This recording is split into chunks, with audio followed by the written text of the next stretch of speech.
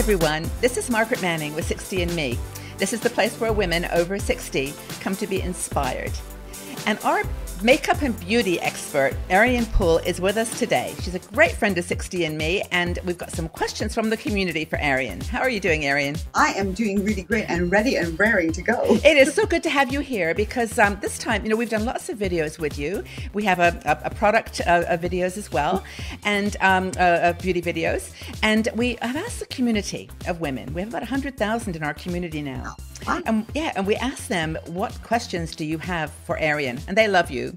So they just laid it out there, all the stuff that's on their minds. Well, I love answering, so I'm ready. So all right. fire away. okay. So we have one here that I'm people are it's, it's not a taboo subject. It's one that people sometimes don't want to talk about. Yeah. And that is facial hair. They pop up in the strangest places like overnight. exactly what you said overnight. You look at yourself in the mirror, you put your creams on at night, you go to bed thinking, oh, you know, lovely. You wake up the next morning, you look in the mirror, and where did that one that suddenly it was not there and it's suddenly this long?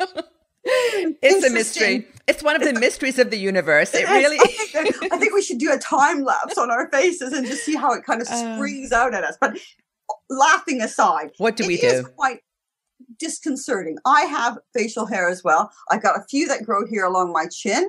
I've got quite a few that grow along here, which yes. I really, you know, I'm keeping an eye on. And uh, then I get a, few that sort of grow around this area, like by my oh. ears and things. Really annoying. so, and, so what do we do about it? I mean, I actually get them the side of my my, and yeah. I probably, and I hope I'm doing the right thing. But you're going to tell us what is oh, the no, right thing. I get do? them here too. Yeah, and you can feel them. You go. Oh. I know. anyway, all right, there's there's a few things. Can I say the nose first? Yes, please. Okay. Let's start Don't there. shave. Okay? okay.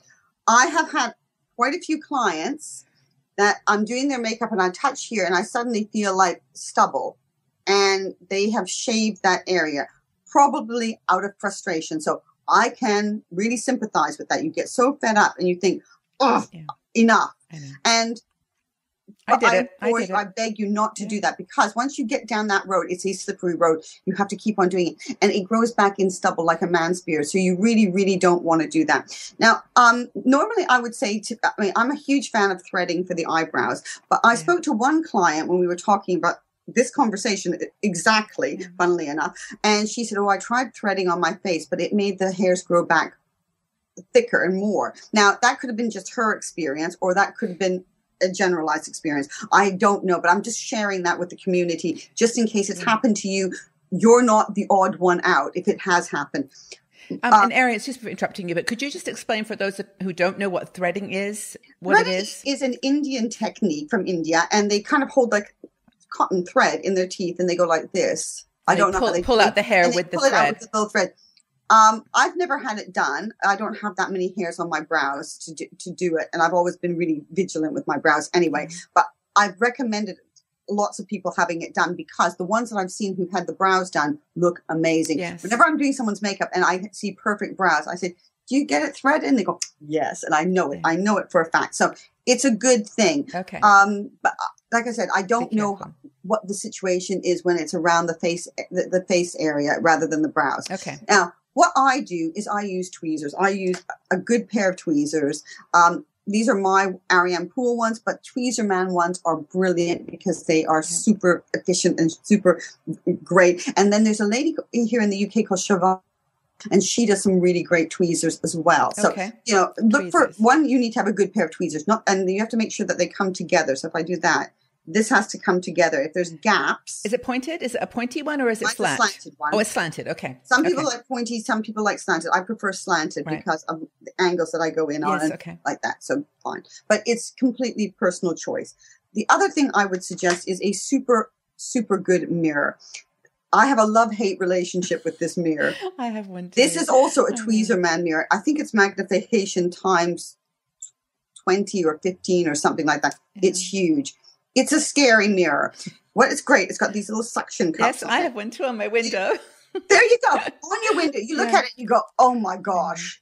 And you could be there for like 15 minutes getting rid of all the stuff that you need to get rid of. But at least you can see it because, you know, looking in a normal mirror, you just don't notice them. And how I notice the ones on my chin, I'm sitting in the car in traffic and I go, and you're trying to pull it out with your fingers. What does it work? No. You can't get a grip with your fingers. Anyway, so the right. other thing, if it's really an issue, laser treatment is really, really good. Women I know that have had it have actually sworn by it. So if it's something that is in your budget and you really want to have it done, Right. then go for that as well. Okay.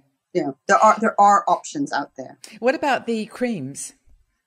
I'm uh, the only reason I'm not a huge fan of the creams. Uh, waxing is good, but the f- cream sometimes, if you're if you have sensitivity, it can cause a flare up. Now, I did a, an event in a waxing studio. Um, how weird is that? Uh, it's called Wax in the City. It's uh, here in the UK, but apparently it's all over Europe Yeah. as well. And these women came out with these their their their this bit here, their upper lips waxed, and they were c- complaining because it looked like a bright red. So, you know what works really good to hide that redness? No, what I was going to ask you about that. The concealer palette. Aha. Oh, yeah. Your concealer palette is awesome. I, I put it on one of the ladies, and she went, "Oh my gosh!" yes. She ran around the salon. Go, look, look at, look at, look at. You can't see. "Why am I looking? There's nothing. You haven't anything done. I have. I had this waxed. It was bright red. Ariane got rid of the red. So if you're going to do the waxing and you have to go somewhere or go to work or right whatever, away. Yeah. Or go any any go out the door anywhere anywhere in public even if, if it's on the you know getting home. Um the concealer palette works really really well to neutralize it's non uh, pore clogging so it will not clog the pores it works really well just to neutralize so waxing is a really other good option as well That's a really great. I'm glad that you mentioned that because I have always been nervous about putting makeup on my lip after I've had it waxed because I've thought that I would get, um, it would flare up with acne. It would, you know, that it would get into my pores. But And that's, yeah yeah, but that's great to know that. I mean, of course, the concealer palette isn't going to clog your pores, so it's perfect. No, and it was only because she sat in my chair and she wanted me to do her eyes, and I'm looking at her eyes, thinking, Yeah. I can't do that with this bright red, what looks like a like a red stripe. I said it's going to distract, so I said, let me just do this, and she went, oh no, and she, I did it, and she went, okay, that is yeah, and That's she cool. was actually more happy with the fact that I hid the red than I did amazing eyes on her, but she was really chuffed with the the, the red being gone. That so, is you very know, cool. Good. Okay, so we know what not to do. We know what to do. And if you want to um, take a look at Ariane's website, it's arianepoole.com. That's P O O L E.com. And you've got some, the concealer palette, of course, and all kinds of other wonderful products. And um, I think this has been helpful. I hope that this has helped you if you're watching and concerned about facial hair. And if you do have any questions for Ariane, just leave them in the section below the article. And Ariane checks in now and again, and I can answer as well. And uh, make sure we get all your questions answered. Thanks, Ariane. Really Thank you. appreciate your advice on this one.